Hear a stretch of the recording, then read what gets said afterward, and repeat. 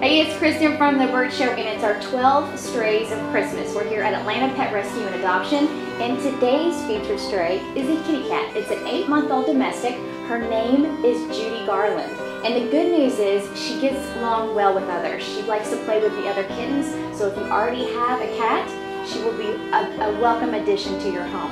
So again, this is Judy Garland. She's beautiful, by the way, here at Atlanta Pet Rescue and Adoption for our 12 Strays of Christmas.